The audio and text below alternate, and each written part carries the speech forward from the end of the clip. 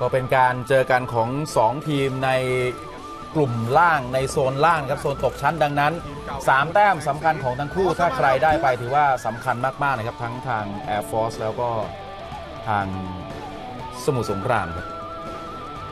วันนี้เปิดมาดีนะครับ Air Force คุณสะสมอะมันต้องถามผมฮะ คุณถามผมรอบที่สองแล้ว โอ้โห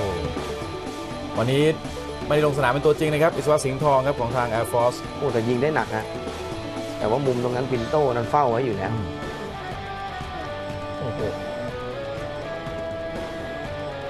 ก็เป็นฝั่ง Air Force ที่ได้เปิดฉากบุกมากกว่าจังหวะบอลตรงนี้ครับอื้อหือมีตัวบล็อกขวางทางซะก่อนรัชนาบำรุงชาติครับในจังหวะมงย้อนของคอซี่ยาวโฮมันนะครับ มาใหม่ครับ Air Force อีก 1 ชุดครับ โอ้โห ชกทิ้งออกไปได้ครับตรงชิปินโต จังหวะนี้ไม่กล้ารับเลยนะครับอืมไม่เห็นนานนะธนัทธนัทครับ ได้ยิงไกลก็จอมยิงไกลอยู่แล้วครับธนัทครับก็ยังมีโอกาสเสียวไปเสียวมาครับบอลของทั้ง Air Force แล้วก็สมุทรสงครามครับ โอ้โหแปลไม่โดนยัง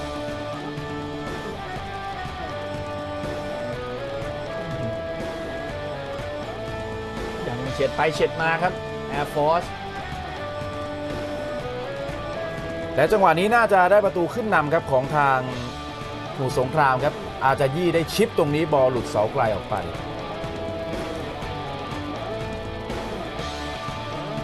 จังหวะของสมุทรสงคราม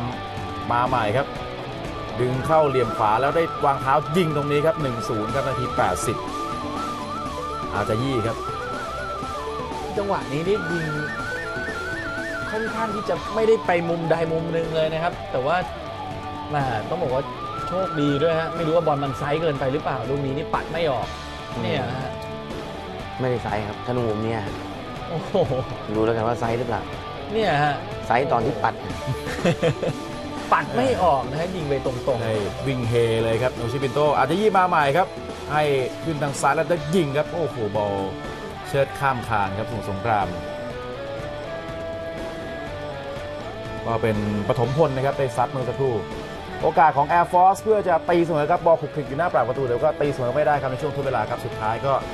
จบที่สมุทรสงครามเก็บ 3 คะแนนได้ครับบุกมาเอาชนะ Air Force ได้1ประตูต่อศูนย์ดูครับสองสามคนบอลขุกคลิกไปมาเซฟด้วยเท้าของปินโต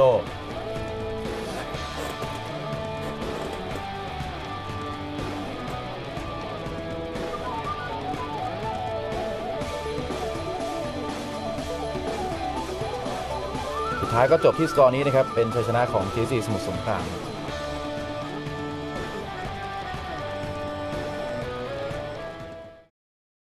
ชมสดสูงสุดถึง 10 คู่ต่อสัปดาห์ ในราคาเพียง 50 บาท หรือติดตามทีมโปรดของคุณทั้งฤดูกาลชมสดทุกแมชเพียง 590 บาทเท่านั้น